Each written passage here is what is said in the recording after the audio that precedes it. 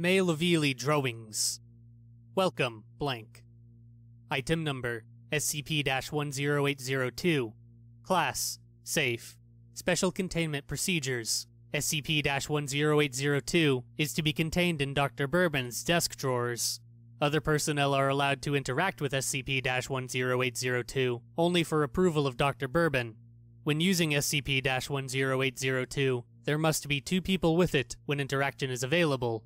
More than two will get completely chaotic and will have to involve multiple neutralizations.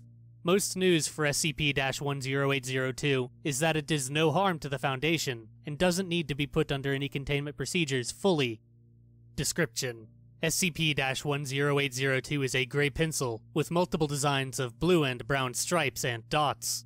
SCP 10802's texture is metallic and copper like. The lead on SCP 10802 is unbreakable and mostly causes damage to objects it's being pressed on too hard, leaving little dents from doing so. SCP 10802's anomalous ability only takes place when used.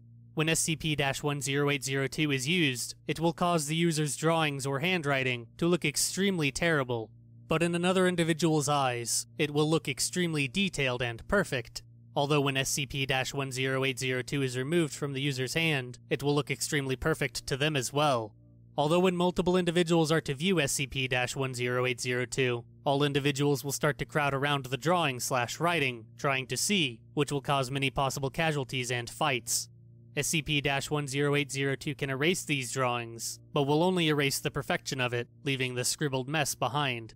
Any individual who views that without SCP 10802 will grow a strong hatred over it and will proceed to try and destroy it.